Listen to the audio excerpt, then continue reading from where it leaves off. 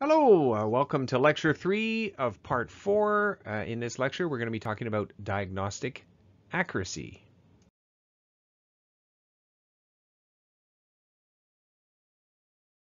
Okay, we're going to start off with the basic structure of diagnostic studies.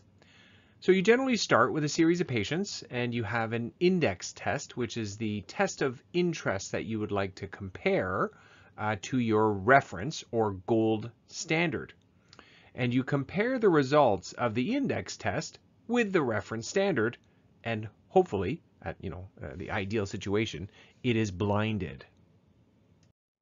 As always, we start with an example.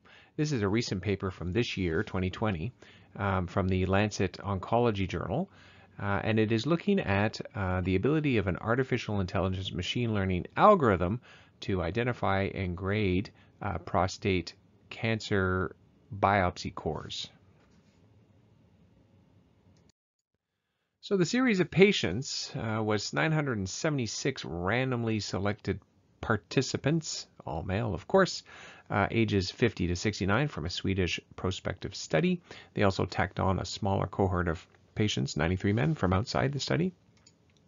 The index test was an artificial intelligence machine learning algorithm that was trained on all of the images of the slides from the needle core biopsies. Um, the algorithm was trained to classify benign or malignant, as well as to grade uh, the malignancies uh, using the Gleason score.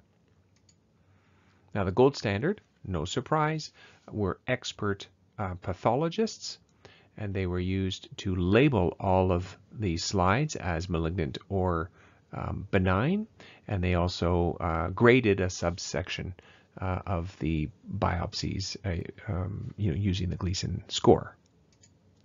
So accuracy in this case was reported uh, using the area under the curve, which uh, we will talk about a little bit later. But it's interestingly, uh, you've uh, just learned about Proc Logistic in SAS, which performs logistic regression, and the um, ROC, the receiver operator curve, um, is generated using Proc Logistic because your outcome is binary, so meaning you know malignant or um, benign, but your independent variable or predictor is continuous. Um, and the um, uh, what the goal of the exercise is to find the threshold that maximizes both the sensitivity and the specificity of your test. And your area under the curve represents um, both sensitivity and specificity together. Now they were very um, successful and achieved um, an area under the curve of 99.7%. Um, which is fantastic. And they also measured um, agreement between the pathologists, and no surprise, it was actually fairly low with a kappa of 0.62, and we're going to go over agreement later on in this course. Um, but they uh, found that the agreement uh, between the algorithm findings uh, was also about uh, the same as the pathologists. So that was very interesting. So just quickly as a refresher, series of patients, men 50 to 69 with suspected prostate cancer. The index test is an AML, AIML uh, classifier, malignant yes, no. It also does some grading uh, using the Gleason score. The reference standard is board certified urological pathologists. And finally, the test that uh, was used in order to produce the results of the accuracy were was a, a test set of 330 cores, um, and the um, the uh, index test produced a result of an area under the curve of 98.6%.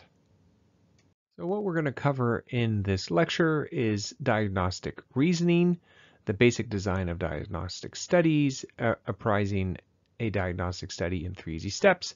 And then, of course, because we are in an intro to stats course, what do all the numbers mean? So apprising diagnostic tests, three easy steps. The first is, are the results valid? So what I mean by that is, are we using the appropriate spectrum of patients? Does everyone get the gold standard? Is there an independent, blind, or objective comparison with the gold standard. Now these are all fairly straightforward, but it's always good to review them. So what do you mean by appropriate spectrum of patients? Ideally, tests should be performed on a group of patients in whom it will be applied in the real world clinical setting. And of course, this points towards um, the challenges of generalizability of your findings uh, to the population of interest. Now, in this case, um, they did they certainly did a good job, um, but the only thing you could say is that most of, if not all of their um, subjects were, were most probably Caucasian because this was a Swedish prospective study. So in this case, ethnicity would not be would not have been studied. Now you may think this is obvious, but ideally all patients should get the gold standard or the reference standard test. And this is something you should consider when you're evaluating a diagnostic test. In this case, um, they, they passed. Uh, everybody uh, did get the um, uh, you know reference standard, and and the reason uh, we know that's the case is because uh, we could not have tested our algorithm if we did not have labeled data. And in this case, the data was labeled by the expert pathologist, which is considered the gold standard.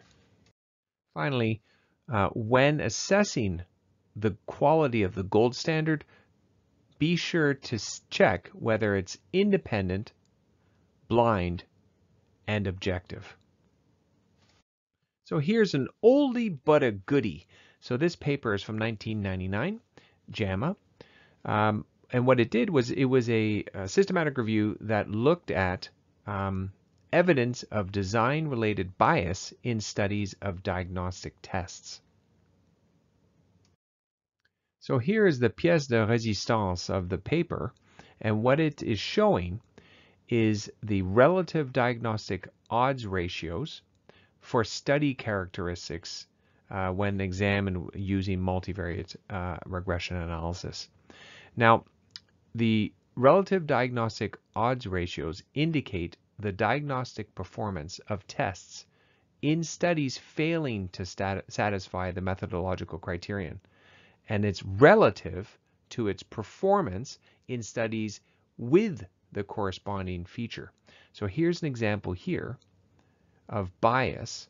So when the study was not blinded, you can see here that the relative diagnostic odds ratio is greater than 1, which means that it is an overestimate. So if you don't blind your study, you tend to have a diagnostic odds ratio that is an overestimate compared to a study that would be blinded. Now you can see here there's a whole list of study characteristics that could potentially introduce bias into your diagnostic um, study. Uh, for example, if just using a case control, uh, difference in refer reference tests, uh, partial verification, uh, we just went over not blinded, non-consecutive patients. Uh, it's a retrospective study. Uh, there's no description of the test, no description of the population, and no description of the reference, so the reference standard. So up till now, we've been looking at the validity of the results. And in this, in the previous slide, we looked at a systematic review from JAMA that expressed a whole bunch of study characteristics that were important um, to be met in order to reduce the possible bias in the results of your diagnostic study. Now next what we want to look at is what are the results? And so we've already touched on it already. In the results we're going to want to look at things like sensitivity, specificity, likelihood ratios, you guys all know about that now, and predictive values. So once you've finished sifting through all the results and you're satisfied that this is the diagnostic study for you, the last question you're going to want to ask yourself is, will this diagnostic test um, help me look after my patients? So for instance, how can I do the test in my setting? Do the results apply to the mix of patients I see? will the result change the way I manage my patients? And is there a cost to uh, the patient or to the healthcare service? So will the result change management? Well, if you consider a linear progression of from 0% probability of disease on the left here to 100% probability of disease on the right, you can imagine that you are going to transition between three sta states going from left to right. When you're pretty sure that they do not have the disease, or you're absolutely sure, then you're going to take no action. If you're unsure if they have the disease, then you're going to want to test. And if you are pretty sure or certain that they have the disease, then you are going to take action and treat.